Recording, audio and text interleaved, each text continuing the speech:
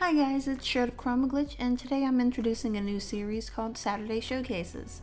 We cover a variety of indie games on the channel, and I had this idea after making one of our Screenshot Saturday posts on Twitter. A little background, Screenshot Saturday is when developers, content creators, etc. are encouraged to showcase something they're currently working on to help get more visibility to it. We host one of these every couple of Saturdays, and I wanted to do more with it. This series will focus on highlighting some of the games that really stood out from the previous Screenshot Saturday thread and will hopefully give you more information on a few of those games. I'll link the Screenshot Saturday thread with all the games that replied in the comments down below, so be sure to check it out for even more games.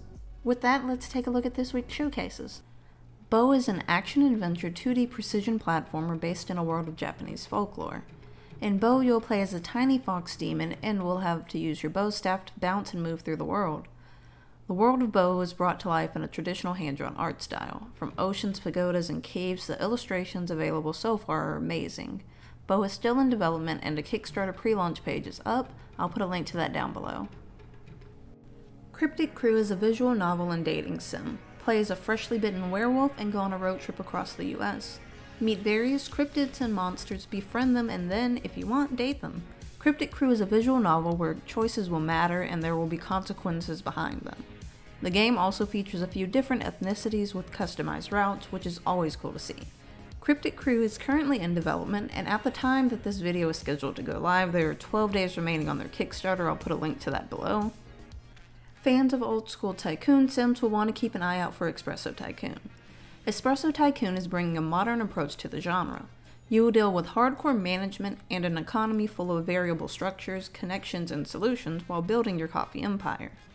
You will be able to decide on the cafe's location and aesthetic, employees, advertising, and more. The 3D coffee editor will allow you to combine multiple ingredients in a very creative way to create drinks people will love.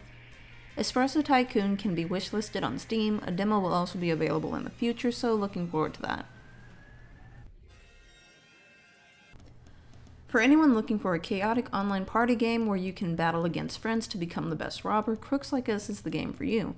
The goal of the game is to collect as many valuables as possible and get back to the escape van before time runs out. There are plenty of gadgets to use to distract your friends and ensure you come out on top. Crooks Like Us supports 1 to 8 players and features multiple game modes such as Free for All, First to 25k, Teams, and more. We did have a chance to play earlier versions of the game with both local and online co-op modes and had a lot of fun. An early access version of Crooks Like Us is available on Steam for $9.99. A link to that will be included down below, so be sure to check that out. And those are this week's Saturday showcases. I had a lot of fun looking at all the games, and I can't wait for the next showcase.